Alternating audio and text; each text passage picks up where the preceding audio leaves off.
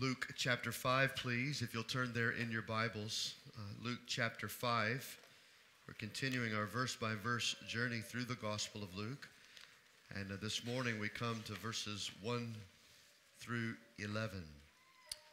Luke chapter 5, verse 1 through 11. And I encourage you uh, to follow along as we read uh, God's Word together. On one occasion, while the crowd was pressing in on him to hear the word of God, he was standing by the lake of Gennesaret. And he saw two boats by the lake, but the fishermen had gone out of them and were washing their nets. Getting into one of the boats, which was Simon's, he asked him to put out a little from the land. And he sat down and taught the people from the boat. And when he had finished speaking, he said to Simon, uh, Put out into the deep and let down your nets for a catch. And Simon answered, Master, we toiled all night and took nothing. But at your word I will let down the nets. And when they had done this, they enclosed a large number of fish, and their nets were breaking. They signaled to their partners in the other boat to come and help them. And they came and filled both the boats so that they began to sink. But when Simon Peter saw it, he fell down at Jesus' knees, saying, Depart from me, for I am a sinful man, O Lord. For he and all who were with him were astonished at the catch of fish that they had taken. And so also were James and John, the sons of Zebedee, who were partners with Simon. And Jesus said to Simon, Do not be afraid. From now on, you will be catching men. And when they had brought their boats to land, they left everything. They left everything. They left everything and followed him.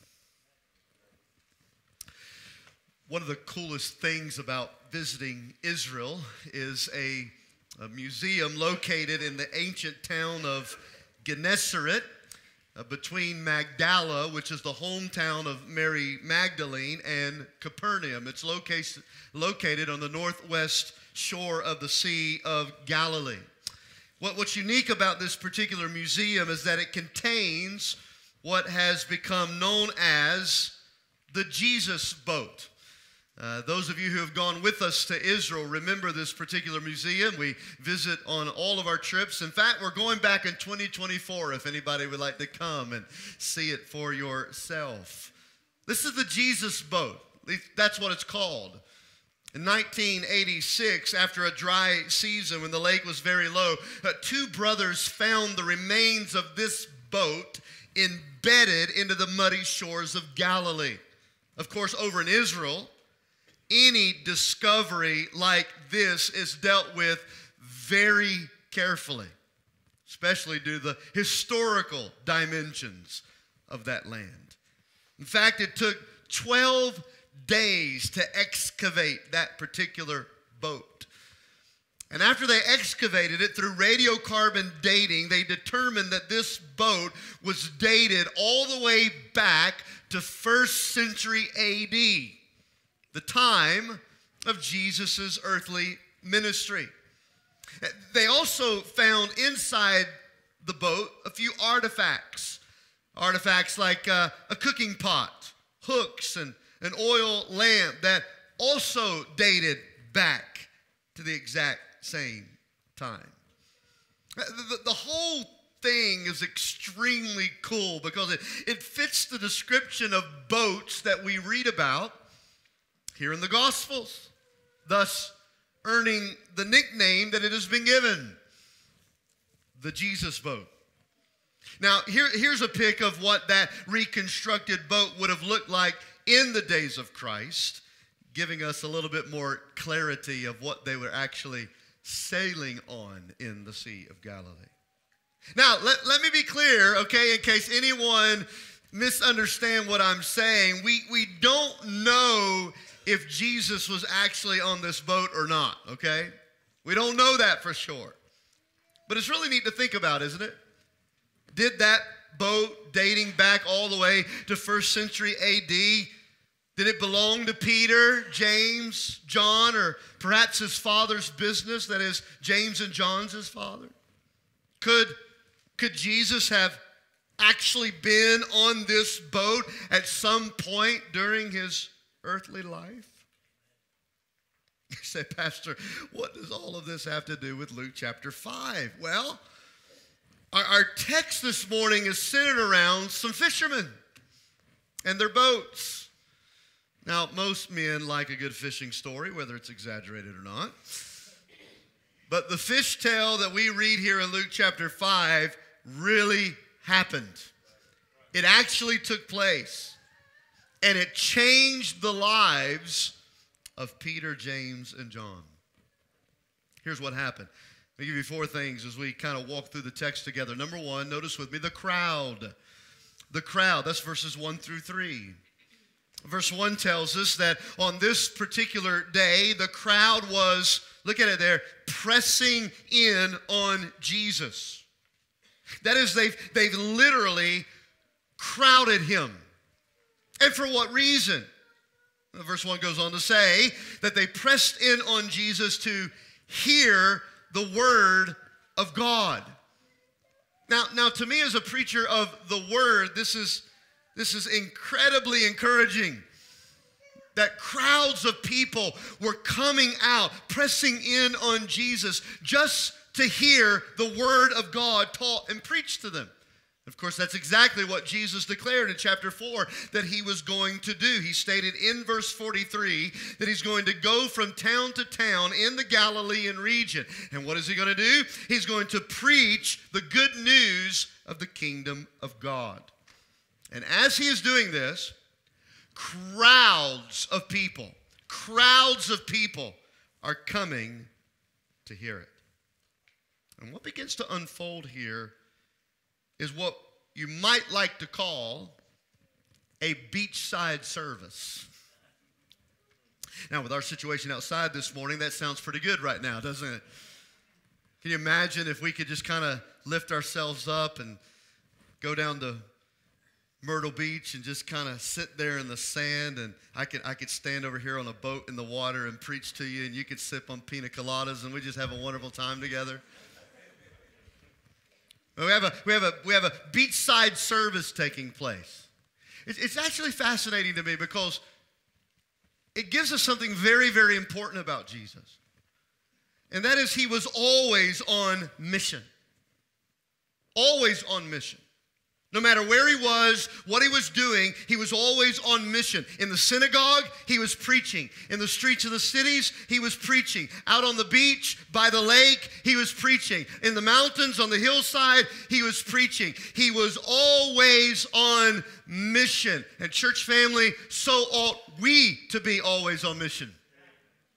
No matter where we are, what our vocation is, what capacity we find our lives in at that particular moment of the day. We ought to always find ourselves on mission. He's not in a synagogue, he's on the beach. But what's he doing on the beach? Preaching the good news of the kingdom of God.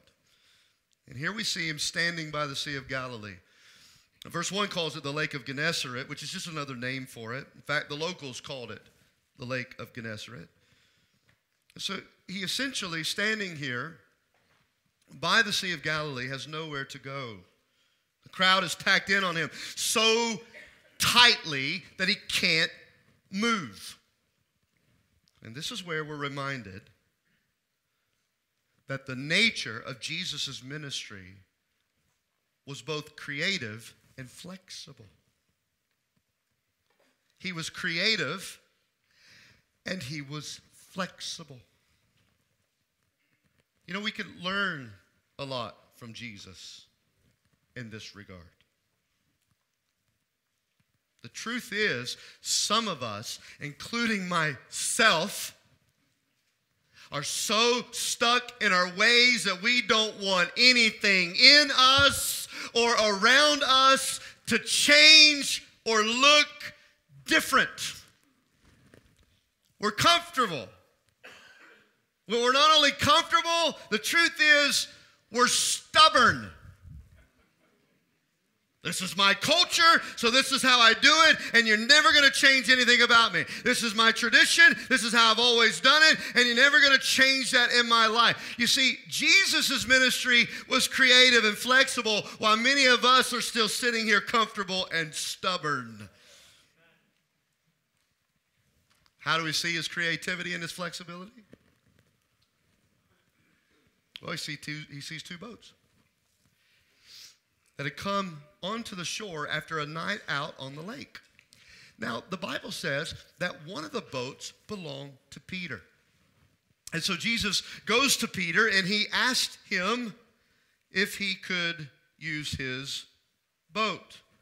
The reason why he does this is because Peter and Jesus are not strangers. If you've been following us in the sequence of our text, you realize that they've already begun a friendship. In fact, they've already shared a meal together in Peter's home. So the Lord comes to his new friend and he asked his new friend Peter if he could use his boat as a pulpit, which shows us not only was Jesus' ministry creative and it was flexible in other words, he didn't just send them home because he was backed up against the water. No, he's thinking through how can I keep teaching them? How can I keep preaching? I gotta, I gotta do something different. I gotta do something I hadn't done before. We got, we, got, we, we got to put them in a different place or whatever. Flexibility, flexibility, flexibility. Jesus was always flexible. He didn't shut the whole thing down that day because they ran out of land flexible, whatever we got to do to keep the ministry going, whatever we got to do to keep the ministry going. But he's not just flexible, he's not just creative, he's purposeful. He's purposeful. And what do I mean by that? In his omniscience, he chose Peter's boat. Now, we don't actually believe that Peter and James and John's boats were the only ones out there. I mean, this is a heavy, heavy fishing district, Galilee is. So, of all the boats, of all the boats, he chooses Peter's boat. And he's going to use this precise ministry situation to not only creatively and with flexibility teach the crowds, but he's also going to purposefully do a work in Peter's heart. In fact, it's fascinating to me that Luke doesn't even tell us one moment about what Jesus is actually teaching the crowds. We have no transcript of that sermon like we do the Sermon on the Mount. Luke simply takes the camera lens in my cinematography mind. He takes the camera lens and now he begins to zoom in on Simon Peter. Now there's an inlet uh, to the west of Capernaum, just near the town of Tabgha, where the hillside actually slopes into the Sea of Galilee, which provides a, a, a natural amphitheater like setting. It's, it's, it's very possible that this is where this event took place because notice what Jesus does. Look at verse 3. He gets into the boat, Peter's boat, and he asks Peter to put out a little from the land. And so he sat down on the boat in the water while the people are on this hillside and he preaches to them. He teaches to them. Again, get the, get the picture in your mind. He's in the boat, out from the land. The crowds are gathered on the shore, and Jesus' voice, his teaching voice, his preaching voice, it just carries over the water and into the ears of the people. All right?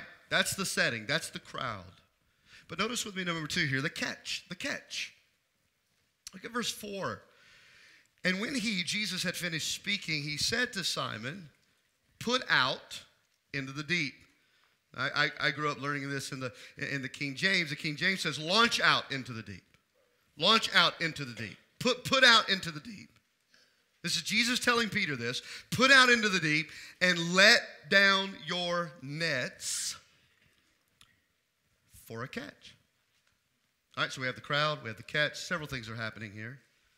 First, I, I, need to remind you if you're new to the disciples and the Gospels and how the story is unfolding, I, I, I need you to know that Simon Peter is a professional fisherman. This is not a hobby, this is how he earns a living, okay? He's a professional fisherman. This is his expertise. Uh, Jesus, on the other hand, in his earthly perspective, was a carpenter's kid. That's how he grew up. He's a construction man who's now turned into a teacher. So, from Peter's perspective, Jesus has just walked into, by the way, his new friend Jesus. He's not quite sure fully yet who this man is. Jesus, the carpenter, the construction man, just walked into Peter's office, his place of business, and he's telling him how to do his job. He gets into his boat, his office, says, I want you to go out into the deep water, let down your nets, and when you do, we're going to catch some fish. I think I speak for most men today when I say that we don't respond very well to those outside of our profession telling us how to carry out our profession. There's something within us called ego and pride. So, so for me to go down to Charlotte Douglas Airport tomorrow morning and walk into Alex Drewkoff's office, where he is the lead engine mechanic for Delta Airlines. I want you to know if you fly Delta Airlines, everything is in the hands of Alex Drewkoff. He is responsible for it taking off. He's responsible for it staying there. He's responsible for it landing. And if anything ever happens, he's the one to blame for it, all right? I'm not going to drive down to Charlotte Douglas tomorrow, sit in Alex's office, and tell him how to put that engine together. I'm just glad the thing flies. But it would be awful difficult for Alex to hear me walk into his office and tell him how to do his job.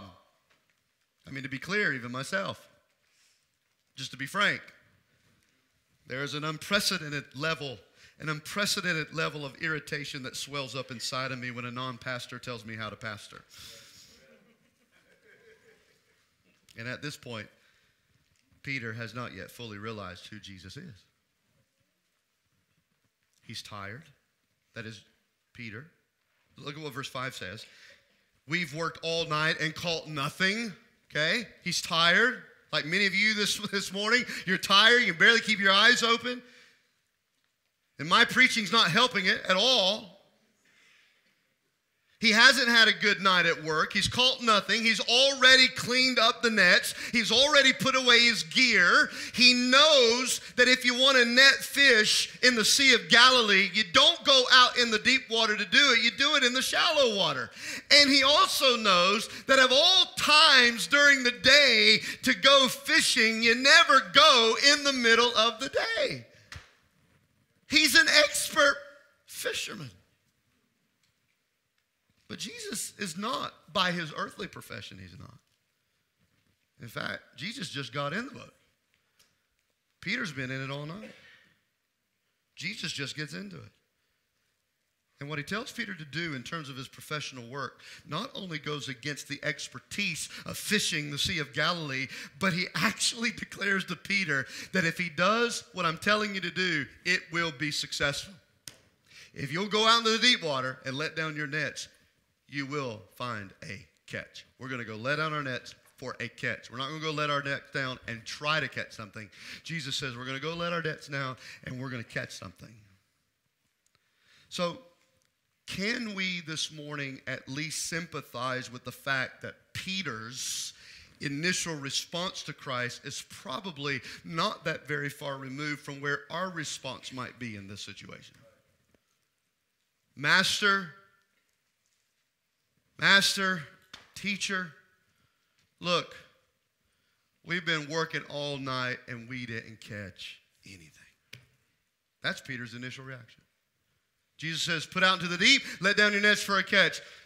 Master, teacher, I appreciate you coming today. Glad you can use my boat as a pulpit anytime you want. I just, I just want you to know, as a professional here, we've been out there all night, the best time of day to catch a fish, and we haven't caught anything. I'm tired.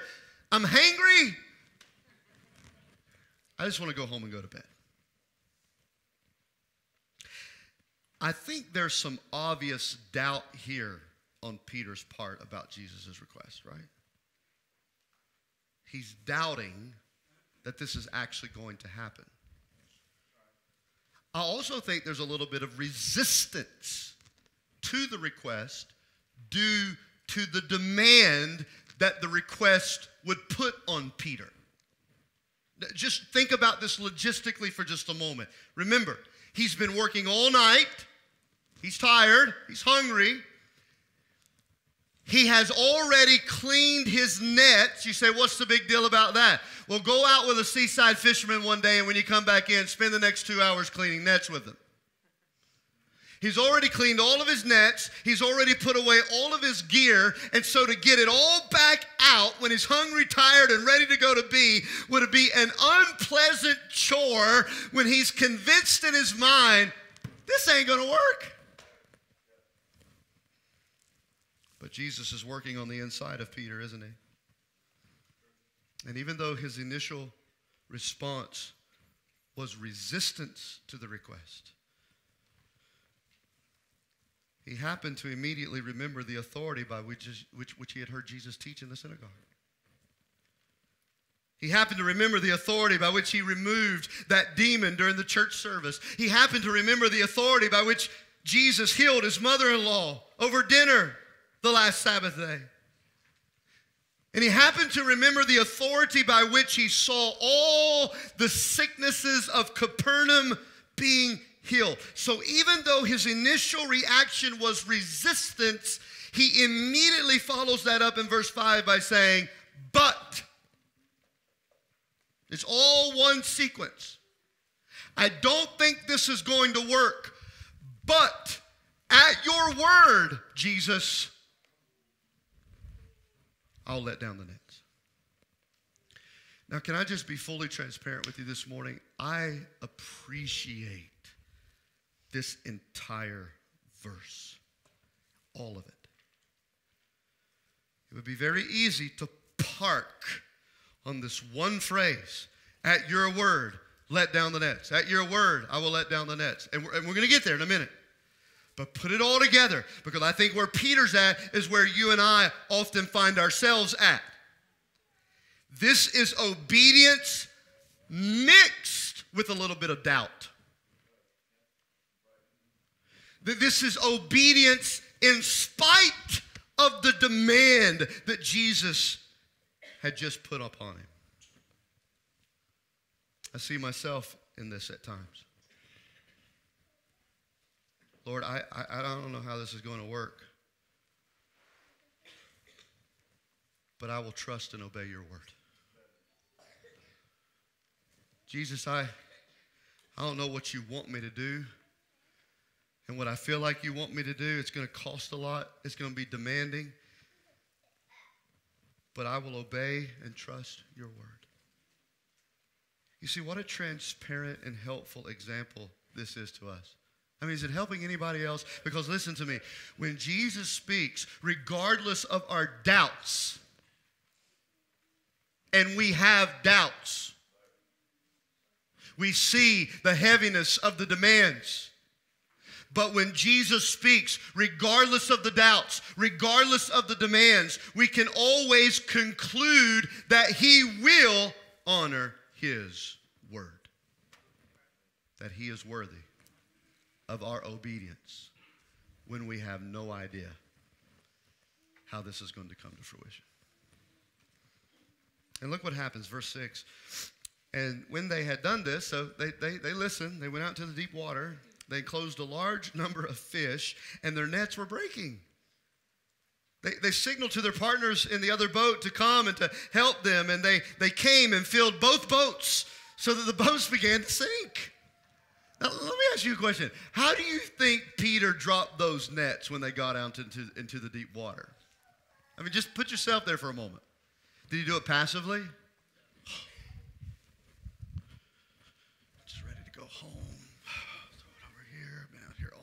And this carpenter's coming here and telling me how to catch fish. Did they do it passively? Was he so beat down?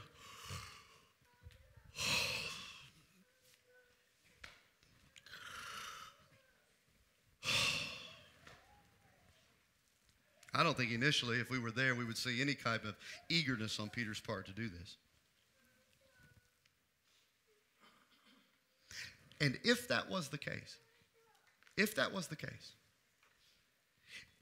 it didn't take long for Peter to be awakened with greater alertness than a cup of Starbucks coffee could do for some of you this morning. All of a sudden, when the nets were dropped, they were filled to capacity. The professionals who were struggling to do the job are now struggling to get it all in. And the boats were overflowing with this gigantic load. Now, we've pictured Peter. How do you picture Jesus? Let me tell you how I picture him. Maybe not the same way you do. This is how my mind works. I picture Jesus sitting at the back of the boat, smiling and laughing. These tired fishermen are suddenly filled with the joy of the catch. A day of success like they've never experienced in all their years of professional work. You see, in Luke chapter 4, Jesus saw, or Peter saw Jesus' authority through his teaching. He saw his authority over the spirit world. He saw his authority over disease and sickness. And now Peter sees Jesus' authority over nature.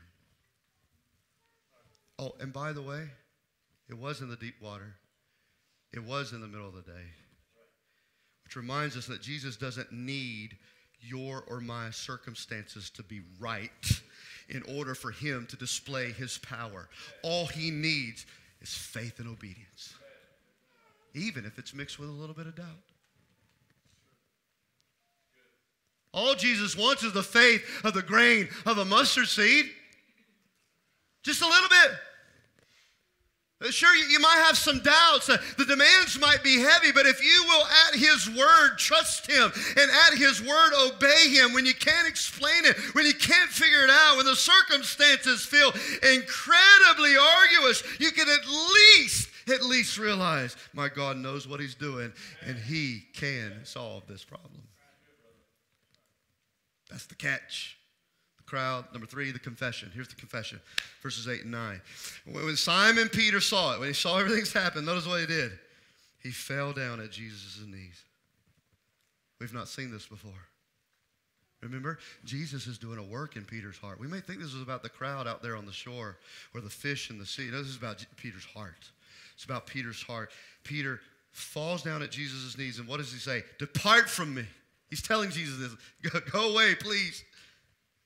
I am a sinful man, O Lord.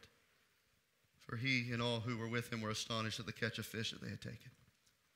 Now, again, we've already noted that this was not Peter's first interaction with Jesus. However, this interaction was different from any others he has, he's had.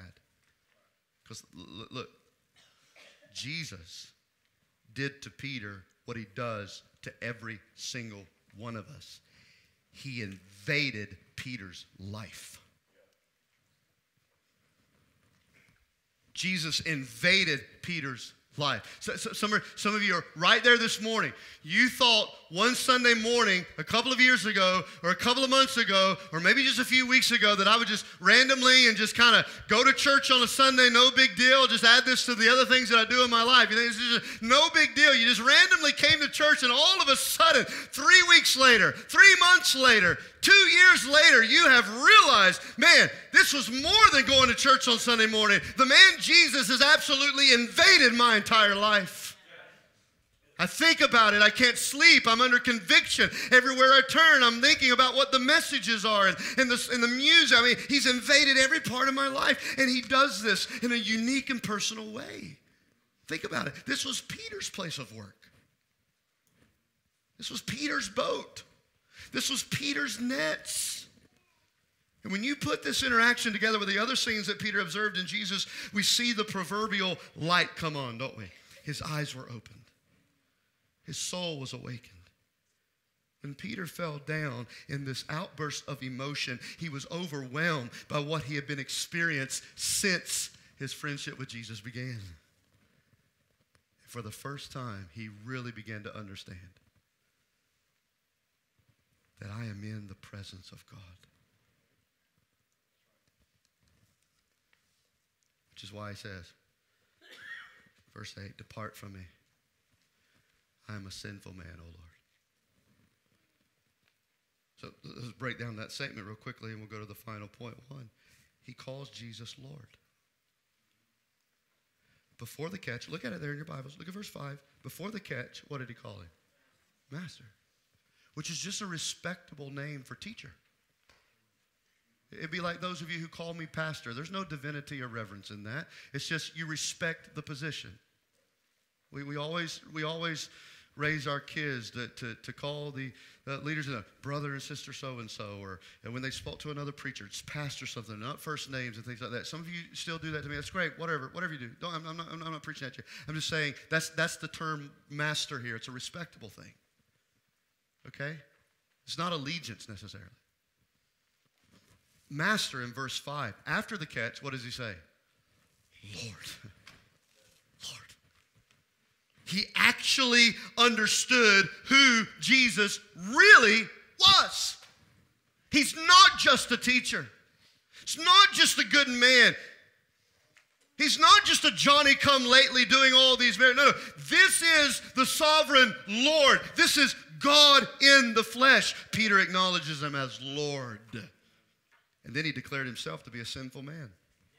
So follow this he became aware of who Jesus really was, and then he became aware of who he really was. That's how it works. When you become aware of who Jesus really is, you actually start to see who you really are. And look at his confession. It's not so much about the things he did wrong, it was a confession of who he was. He didn't say, I've done some bad things. Depart from me, Lord. No, he said, Depart from me, Lord. I am a sinner. Herein lies the distinction between those of you who have truly come to Christ and those of you who this morning are standing outside of true faith in Christ. The one who has truly come to faith in Christ in this room this morning acknowledges that he doesn't just do bad things from time to time. He actually acknowledges that in essence, he is an unholy person, he is a sinner. And it's because of that that we act out in unpleasant ways. What we see here is Peter being humbled and broken at the presence of God. He's aware that at that moment he was in the very presence of perfection. He's in the presence of holiness. It's the same response that Isaiah gave in Isaiah chapter 6. He looked up and he saw the beauty of the holiness of God. And what did he immediately declare? Woe is me. I am lost. I am undone. I am unclean. When Job's eyes in Job 42 saw the Lord, Job said, I despise myself. I repent in dust and ashes. Now Peter realizes this is God. And God is holy. And God is perfect. And I am not. And He is broken and humbled by who He has met. You see, there's an inner agony over sin that takes place as a necessary prelude before the saving grace of Jesus comes into our lives. Peter's doing just that. He's mourning over who he knew himself to be compared to the holiness of Jesus. And then, and then just briefly, he asked Jesus to leave him. He asked Jesus to leave him. So, so, so, okay, don't, don't be too hard on Peter here. The seed of spiritual life is just now being birthed in his heart. He's as fresh as fresh can be at this moment when it comes to his relationship with Jesus. So, so let's not get too hard on him. Let's not judge him, condemn him for asking Jesus to go away. This was a novice expression of someone who has seen how sinful they are and they feel like they are absolutely unworthy to be anywhere near the holiness of God. That's all that it is. He's, he's not rejecting Jesus, rebelling against him, or not wanting to have a relationship with him. This is a novice expression. Listen, I, I'm separated from this guy. I can't be anywhere near him compared to who I am. But as Peter's faith grows, from this point forward, he will come to realize The ever present awareness of our sin actually drives us to Jesus and not away from him. Do you remember John 21 after Jesus' death and resurrection? Peter was in a boat trying to fish. He had nearly given up. And he's distracted, sorely distracted, by the reality that he had just failed the Lord in that particular season of his life. But then a voice from the shore rang out. Do you remember that? a voice from the shore rang out across the water to this boat where Peter is on. He said, Hey, fishermen, try the other side. Cast your net on the other side. And what happened? He did. The net was overwhelmingly filled with fish. Peter had seen this before. And he knew at that moment that it was the Lord standing on the shore giving out that command. He cried out, It is the Lord. At the same time, he jumped out of the boat. He swam as fast as he could to Jesus. What did he learn? He learned that the more we know about Jesus and the more we learn about ourselves, the more we will run to him. Finally, number four, the call. The call. The call. That was his confession. Here's the call. So again, follow the sequence. Peter's confessing his sin. He's acknowledging Jesus as Lord. He's asking Jesus to go away. But then Jesus said to Peter in verse 10, Do not be afraid. From now on, you'll be catching men. I wrote down these three things. Number one, you don't have to be afraid of Christ when your faith is in Christ. Don't be afraid, Jesus said to Peter. When we're in the presence of God, we have nothing to fear. Romans 8 1 says, There is therefore now no condemnation for those who are in Christ. Why? Because you are free in Christ. But when we live our lives outside the presence of God, we have everything to fear, including the Lord Himself. Jesus said to Peter, Don't be afraid. Why? Because you don't have to be afraid of Christ when your faith is in Christ. I wrote down this statement. Number two, new life in Christ brings a present and future transformation. New life in Christ brings both a future and present transformation. I love the next three words of verse 10.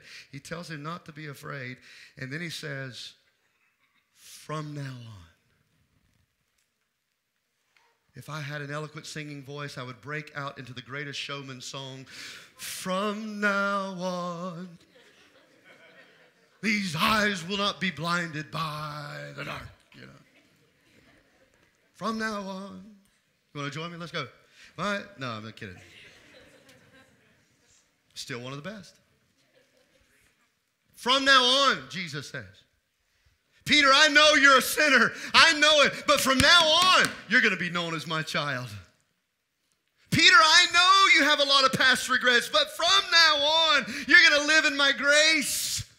Peter, I know you've been wrapped up in yourself, but from now on, I'm going to teach you how to wrap up your life in me. Peter, from now on, from now on, from now on, everything is going to be different. Oh, please listen to me, friend. You cannot change the past. But what you can do is from now on, let Jesus change your future. From now on, Peter, things are going to be different. I know some of you are sitting together intense marriages you, you, you have children that the, the, relationship is just it's just off and eh, there's some private personal sin that nobody else knows about. Maybe you're here you're overwhelmed by the burden. There, there is the guilt of being in the presence of a holy god and realizing how different you are from him. But god is saying to you this morning if you'll just come to me in faith from now on from now on it'll be different and then I wrote down Jesus. Jesus doesn't flee from sinners, but he seeks them out. He gives them grace and he calls them to join him. He doesn't flee from sinners. He seeks them out. He gives them grace and he calls them to join him. He says, From now on, you will be catching men. You see, as a part of Peter's now on moment, it involved a unique call on his life. It was a call to leave his present vocation of filling nets with dead fish and to fill gospel nets with living souls. Of course, the spiritual fulfillment of that will be in Acts chapter 2, right? When Peter stands up on the day of Pentecost and he preaches that magnificent message, and thousands come to faith in Christ. The spiritual gospel nets that Peter had learned to cast out by the training and discipleship of the Lord is going to reap a whirlwind of fruit by which you and I, even today, are recipients of. You see, catching men is a description of gospel ministry. Our, our law enforcement in the room may look at catching men a little bit differently, uh, but actually, there, there's a gospel implication of this. This call is given to all who confess Jesus as Lord. Look right here. This call to catch men and women is given to all who confess Jesus as Lord, regardless of our vocations. God has called each one of us as His children to devote our lives to the catching of men and women with the gospel of Christ. So, in whatever capacity we find ourselves in throughout our day, we are to be motivated in all things and above all things by the call of God to catch others with the gospel. I'm a accountant behind the desk. I'm also a fisher of men. I'm a coach on a ball field. I'm also casting the net of the gospel. I'm driving a truck delivering goods. I'm also, I'm also a preacher of the gospel. I'm a, I'm a lawyer, but I'm a gospel. We got to help some of you with that, but it, but it can happen. I, I'm a medical professional, but I'm also a spreader of the gospel, no matter what our vocation is. God specifically, Jesus specifically wanted Peter to leave it all behind. Leave it all behind. He may not be asking you to leave your profession, but he is asking all of us to spread the gospel, to catch, to catch men and women with the truth of Jesus. In verse 11, here it is. Finally, I know you're thinking. And when they had brought their boats to land, they left everything and followed him. I've been captivated by that phrase all week in my study. They left everything. Now, what did that mean immediately? It meant they left the catch. What do you think they did with it? Catch and release, Pastor. That's what they did with it. No, I think maybe in an unrecorded portion of what we have in the scriptures, maybe all those people on the hillside had a nice little lunch that afternoon. Anybody loves a, some fish sticks and some tartar sauce on a sunny afternoon? But they left it behind. No money for the catch. They left the family business, all they've ever known. In fact, this was the greatest moment of success in their entire professional career. And they left. They left. At the height of success, they walked out the door. Why? Because they saw something they never saw before. They saw the glory of God. They saw the grace of God. They saw God's love for people. And guess what? Suddenly, fishing wasn't all that important anymore. Fishing went from number one to a little bit lower on the list. They left everything and they followed him. And I put here emphasis on the fact that they followed him. Jesus. They didn't follow a new business model. They didn't follow a new philosophy.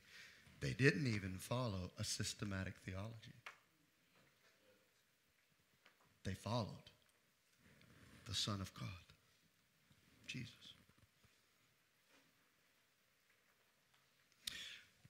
I give you two things to reflect on. One, following Jesus is not just one part of our lives it is our life. He invades every part of it. But there may be some people in this room this morning who treat him like a file among other files. I got, I got, I got my family file. I got my job, job file. I got my hobby file. And, and now there's my Jesus file.